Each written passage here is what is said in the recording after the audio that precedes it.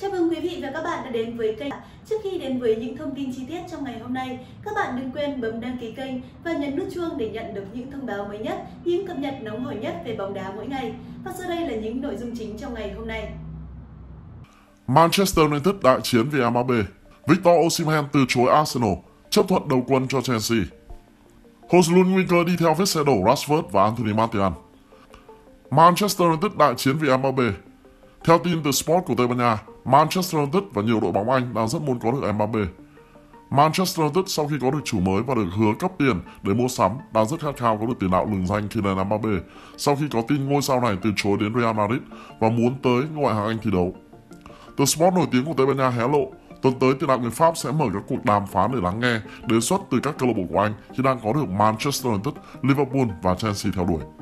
Chân sút 25 tuổi này có giá thị trường là 180 triệu euro, nhưng anh có thể ký hợp đồng sơ bộ trong tháng này với các câu lạc bộ bên nước ngoài nước Pháp để được chuyển nhượng tự do vào cuối mùa với một mức lương tương xứng với tài năng và danh tiếng của bản thân.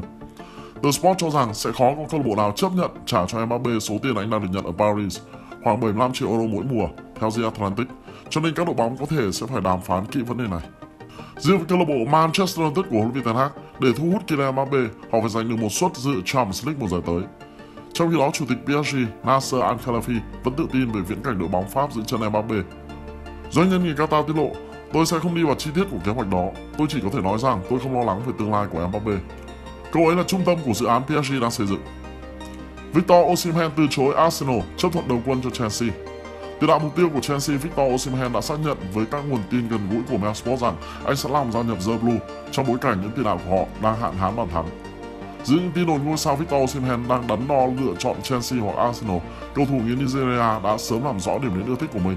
Anh lắc đầu về Arsenal và chấp thuận cập bến The Blues.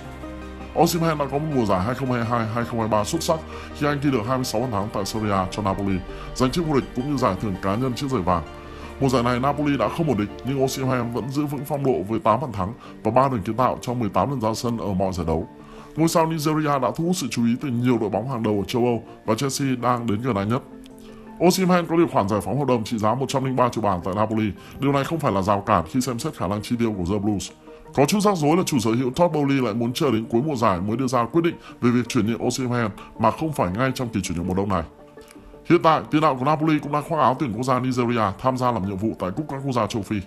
Chelsea đã và đang gặp khó khăn ở mùa giải này khi họ đang xếp thứ 10 tại Premier League với chỉ 8 chiến thắng trong 20 trận. Các chân sút thiếu khả năng dứt điểm đã làm hại Chelsea. Thật khó tưởng tượng đội bóng hàng đầu nước Anh lại thua các đội chiếu dưới như Brentford và Everton dù kiểm soát bóng và tạo ra nhiều cơ hội lớn. Christopher Nkunku hiếm khi khỏe mạnh kể từ khi gia nhập câu lạc bộ vào mùa hè và một lần nữa phải nghỉ thi đấu vì chấn thương hông. Nicolas Jackson đã thực sự không ấn tượng trước khung thành và Armando Broja chưa thể liên tiếp thể hiện được phong độ tốt. Đấy là chưa kể Chelsea đang có một danh sách chấn thương dài hạn ở mùa giải này. Christopher Nkunku đã vắng mặt trong thất bại 0-1 ở trận lượt đi bán kết Carabao Cup trước Middlesbrough và dự kiến sẽ không tham gia trận đấu của Chelsea tại giải Ngoại Anh với Fulham vào cuối tuần này. Romeo Lavia và Leslie Ogochukwu có thể phải nghỉ thi đấu từ 4 đến 5 tuần sau khi gặp chấn thương cơ đùi vào tháng trước. Robert Sanchez cũng cần phải kiểm tra y tế sau khi gặp chấn thương trong trận đấu với Everton và trước mắt anh phải ngồi ngoài một thời gian tương tự. Rich James, cầu thủ chỉ mới chơi 9 lần ở mùa giải này cũng không thể ra sân cho đến tháng 3 sau khi phẫu thuật cơ đùi vào tuần trước. Marc Cucurella vừa mới trải qua phẫu thuật mắt cá chân gần đây và điều này sẽ khiến anh phải nghỉ khoảng 2 tháng nữa. Cũng rất may là The Blue mới cung cấp một số thông tin tích cực về thời gian hồi phục của các cầu thủ và thời điểm họ có thể trở lại thi đấu. Benoit Badiashin, Kani Chukwuemeka và Ben Chilwell đã trở lại tập luyện cùng đội 1 sau chấn thương dài hạn và sẵn sàng trở lại sân cỏ vào cuối tháng. Hoslund nguy cơ đi theo vết xe đổ của Rashford và Anthony Martial. MU đã giành chiến thắng trước Wigan trong trận đấu đầu tiên của năm 2024, nhưng hành trình sắp tới của thầy chó Louis Ten Hag vẫn vô cùng gian nan. Rasmus Hojlund đã chơi gần trọn vẹn trước Wigan ở Cúp FA vừa qua. Tiền đạo người Đan Mạch được trao rất nhiều cơ hội. Dù vậy, số 11 của MU rời sân ở phút 90 cộng 2 mà không có bàn thắng nào cho riêng mình, ngay cả khi đối thủ là đội bóng hạng 3. Vào tháng 11 năm ngoái, Hojlund tự tin tuyên bố không lo lắng về việc không ghi được bàn thắng tại Premier League bởi cơ hội ghi bàn của anh rất khan hiếm. Ngay sau khi cuộc phỏng vấn được phát sóng, Højlund đã lãng phí hai cơ hội bằng vàng trước Luton Town và những dự cảm về việc Højlund không ghi bàn tại Premier League ngày một lớn. Cuối cùng chàng chơi trẻ người Đan Mạch đã chấm dứt chuỗi trận cằn cỗi đó khi ghi bàn vào lưới Aston Villa vào ngày 26 tháng 12. Nhìn vào màn ăn mừng của Højlund ở phía khán đài Stratford End, như thể gánh nặng tựa như cả thế giới đã được nhấc khỏi vai chàng chơi trẻ.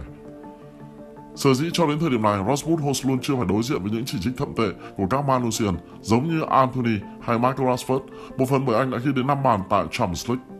Mặt khác, khi MU ký hợp đồng với một cầu thủ 20 tuổi, đám đông cũng dễ dàng thông cảm hơn, cho dù mức giá 75 triệu euro MU chi trả cho Atalanta tương đương với một ngôi sao cỡ bự.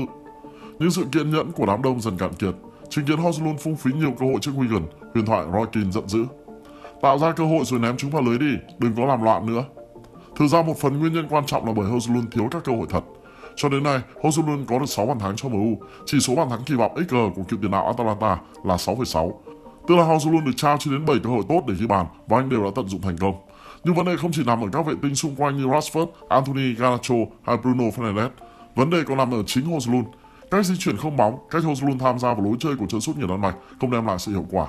Và hơn hết, nếu bản thân Højlund cũng như ban huấn luyện MU không thể giải quyết vấn đề tồn động từ đầu mùa giải đến giờ, sự tự tin của chân sút mới 20 tuổi sẽ bị ăn mòn. Khi đó Højlund có thể đi vào vết xe đổ của những Rashford, Anthony Martial hay nhiều chân sút khác của Quỷ Đỏ trong những năm qua.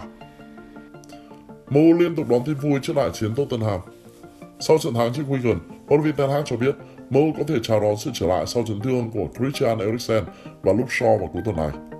Ở trận làm khách trước Wigan tại vòng 3 Cúp FA dạng sáng nay, ngày 9 tháng 1, MU thắng với tỷ số 2-0 nhờ công của bộ đôi ngôi sao tới từ Bồ Đào Nha, đó là Diogo Dalot và Bruno Fernandes. Trong chuyến hành quân tới sân DVK vừa qua, MU không có sự phục vụ của hàng loạt ngôi sao do chấn thương, gồm Casemiro, Malacia, Isaro Martinez, Victor Lindelof, Harry Maguire và Luke Shaw. Sắp tới, Quỷ Đỏ sẽ tiếp đón Tottenham tại vòng 21 Premier League vào ngày 14 tháng 1 và họ có thể chào đón sự trở lại của hai cầu thủ quan trọng đó là Eriksen và Luke Shaw. Huấn luyện viên Ten Hag đã tiết lộ thông tin này trong cuộc họp báo sau trận đấu gặp Wigan. Một số cầu thủ có hy vọng trở lại vào cuối tuần này trong trận đấu gặp Tottenham. Tôi đang nói đến Eriksen và có thể là cả Luke Shaw. Về Maguire và Mason Mount, tôi nghĩ họ cần một vài ngày hoặc một tuần để trở lại. Dù đội nhà giành thắng lợi, song rõ ràng huấn luyện viên Ten Hag vẫn chưa thể hài lòng khi các tiền đạo quỷ đỏ đã tịt ngòi ở trận đấu này. Dàn sao của MU rõ ràng cần cải thiện khả năng dứt điểm nếu muốn giúp đội nhà cạnh tranh các danh hiệu. Khi được hỏi về cơ hội vô địch của đội nhà, huấn luyện viên Ten Hag nói: Tôi nghĩ còn quá sớm để nói về chuyện đó. Bạn sẽ phải thi đấu hết trận đấu này đến trận đấu khác, đặc biệt là đấu trường cúp. Vì vậy vào lúc này, tất cả sự tập trung của chúng tôi sẽ dành cho cuộc so tài với Tottenham tại Premier League. Ngoài những cầu thủ kể trên, cả Anthony Martial và Diallo cũng lỡ trận thắng Wigan. Tuy nhiên, Anthony Martial và Diallo không dính chấn thương mà vắng mặt do bị ốm, vì thế họ có thể tái xuất trước Tottenham. Có thể thấy Anthony Martial và Diallo không gặp may ở mùa này, cụ thể tuyển thủ Pháp đã hai lần bị ốm, còn tiền vệ người bờ biển Nga chỉ mới được thi đấu 36 phút vì nghỉ dài hạn do chấn thương đầu gối rất nặng.